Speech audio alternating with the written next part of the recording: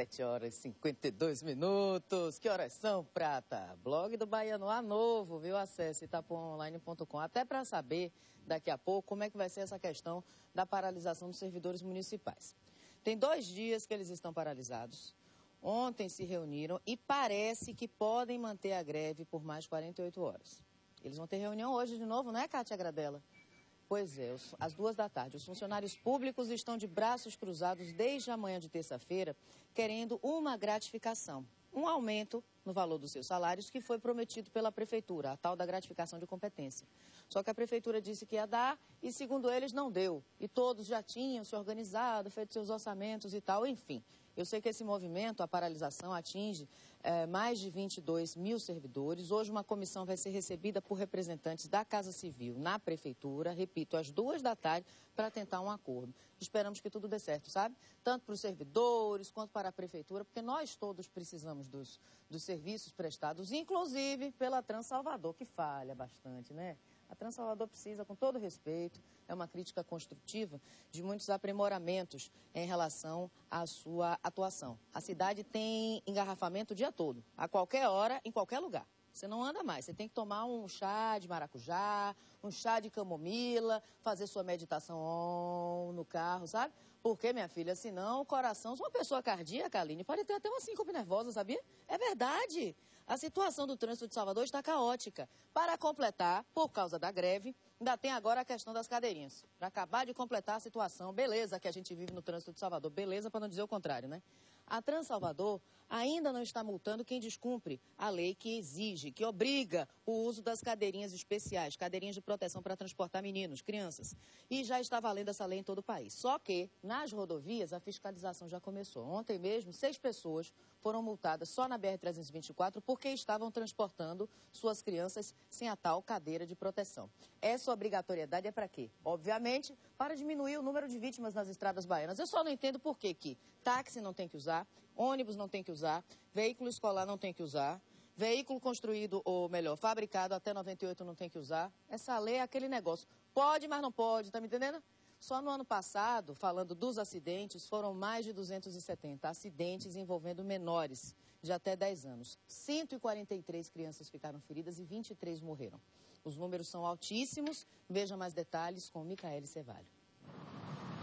Miguel transporta a filha de 4 anos sem a cadeirinha ou o assento de elevação. No posto da Polícia Rodoviária Federal, ele se justifica. O que importa é que a polícia esteja cumprindo o papel dela. Infelizmente, o comércio não está atendendo a demanda que se faz necessária. A família ainda tenta improvisar com almofadas a elevação de Maria Eduarda, mas a polícia não aceita. Transportar crianças fora do equipamento de segurança representa infração gravíssima com sete pontos na carteira de habilitação do condutor, multa de 191 reais e retenção do veículo.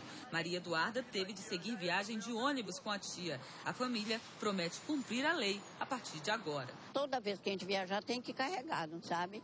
Então ela vai viajar direitinha, com tudo como manda o figurino. A resolução do Conselho Nacional de Trânsito determina que as crianças de até 7 anos e meio sejam transportadas no banco traseiro utilizando o dispositivo de retenção, que pode ser a cadeirinha ou o assento de elevação, de acordo com a idade e o peso. Segundo a norma, crianças de até um ano de idade devem usar o bebê conforto entre 1 e 4 anos, cadeirinhas, e de 4 a 7 anos e meio, os assentos de elevação, sempre no banco traseiro do veículo. As exceções é para as caminhonetes, que só tem um banco, as crianças serem transportadas na, cadeirinha.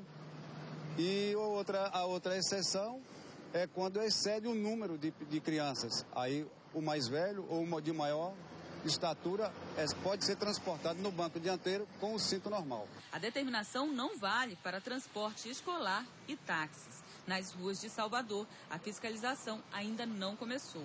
Com o número reduzido de agentes de trânsito por causa de uma paralisação dos servidores públicos municipais, os motoristas ganharam mais tempo para comprar o equipamento exigido no transporte de crianças. Pois é, para você ver como são as coisas. A fiscalização estava prevista para começar em 9 de junho. Léo, esse ponto está zoando minha mente aqui, meu lindo. Venha cá trocar, venha, tá dando um reme aqui. desse ano. Então ia começar em junho desse ano, dia 9. Foi adiada por causa da pouca oferta de cadeiras nas lojas. Beleza. Dois meses se passaram e a oferta ainda é pequena. Fui ontem procurar novamente, não achei. Situação difícil essa, viu? Quero saber como é que vai se solucionar isso, já que as cadeiras são tão caras. Não entendo como é que um equipamento caríssimo como esse pode faltar nas lojas. E repito, quem tem quatro filhos faz o quê? Quem tem carro que foi fabricado antes de 98 não corre risco de acidente, é isso? Também não precisa usar, certo? Vans escolares também não vão precisar usar. Táxis também não vão precisar usar. Ônibus também não. É a lei do pode, mas não pode. Tá me entendendo? Se você entendeu, escreva para mim para me ajudar. Vá, que minha cabeça, tico e teco aqui não estão conseguindo concatenar, sabe? A obrigatoriedade é, é, é, é, é, obviamente boa, porque as pessoas deveriam se proteger mais no trânsito, etc. Mas como é que você pode obrigar uns e outros não? Principalmente os veículos que circulam profissionalmente, vans e afins, e tantos outros veículos que carregam crianças para baixo e para cima, como a gente vê pela cidade. Como é que pode isso? Tá certo? Enfim, falta um ajuste melhor aí dessa lei, porque está faltando alguma coisa certamente para é, que ela seja implementada com mais eficácia. Agora sim, mudando o rumo da nossa prosa, vamos falar sobre eficácia de leis e sobre o refinanciamento da dívida. A Prefeitura de Simões Filho, esse aqui é o prefeito. Bom dia, prefeito. Tudo bem com o senhor? O prefeito Eduardo Alencar de Simões Filho veio falar, dentre outras coisas, sobre o refinanciamento. Eu soube que vocês estão isentando de multa quem tinha dívida de IPTU, de multa não, do próprio pagamento até 400 reais. É isso? É, existe uma dívida ativa do município que os prefeitos hoje são obrigados a cobrarem é, do cidadão. Esse motivo tem uma dívida alta é, na dívida, na dívida ativa do município. Então nós fizemos uma lei, foi para a Câmara de Vereadores, foi aprovado pela Câmara. Agradeço os vereadores por ter aprovado essa lei.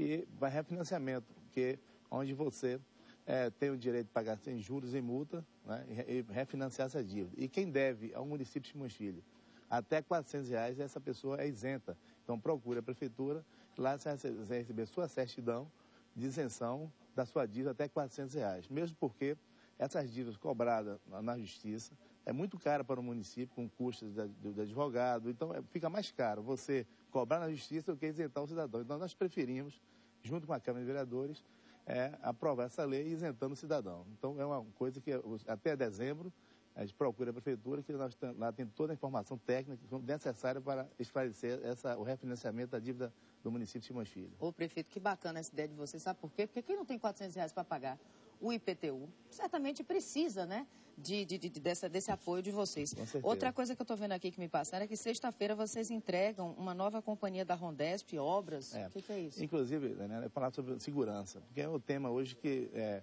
o cidadão brasileiro, todos estamos preocupados. Então, lá em Simões Filho, nós temos um trabalho firme junto com o governo do Estado, com a Polícia Militar, a Polícia Civil, não só na Rondeste. A Rondeste vai ser inaugurada sexta-feira, foi uma, uma, conquista de Simões Filho, junto ao governo do Estado, para ser instalada em Simões Filho, no CIA, no lugar, é, na entrada da cidade, para aumentar mais ainda a segurança do município de Simões Filho.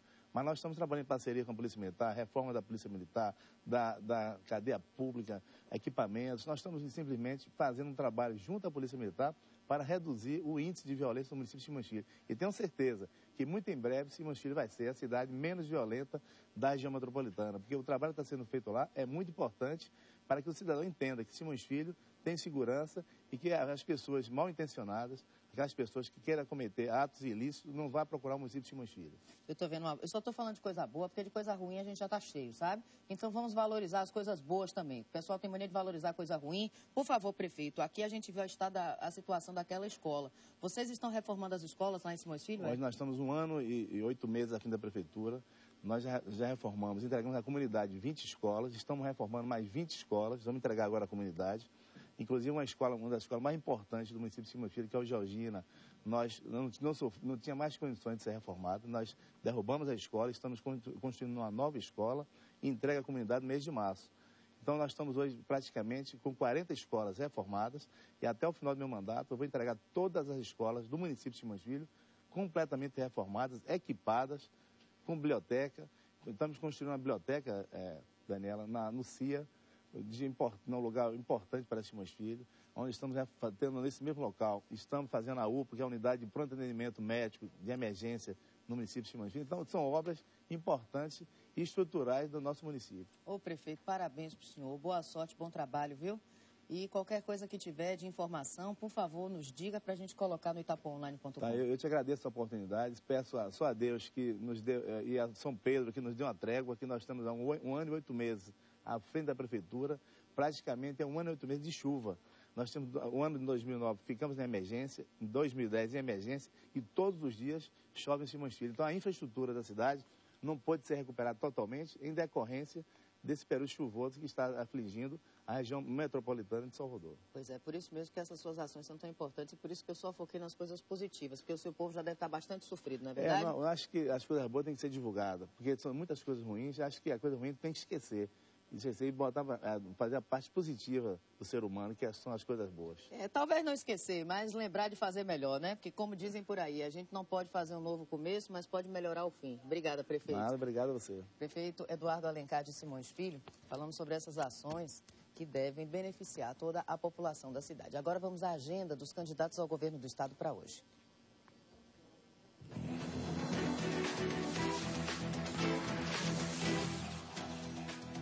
Luiz Bassuma, candidato do PV, dá entrevista para um site pela manhã. Às 11h30, dá entrevista para uma emissora de rádio. À tarde, grava programa eleitoral. O candidato da coligação A Bahia Tem Pressa, Gedel Vieira Lima, faz campanha em Salvador pela manhã. Às seis da tarde, participa de carreata no município de Filadélfia. O candidato Jacques Wagner, da coligação para a Bahia seguir em frente, dá entrevista para uma emissora de televisão ao meio-dia. À tarde, cumpre a agenda como governador. Marcos Mendes, do PSOL, dá entrevista para estudantes de jornalismo às 10 da manhã. Às 3 da tarde, tem reunião com o candidato a vice-governador. À noite, grava programa eleitoral. O candidato Paulo Souto, da coligação A Bahia Merece Mais, viaja para a Feira de Santana, onde dá entrevista para a imprensa pela manhã. Depois faz campanha no Mercado Modelo em Salvador. À tarde participa de um evento político em Jequié. O candidato do PCB, Sandro Santa Bárbara, cumpre compromissos profissionais pela tarde e à noite.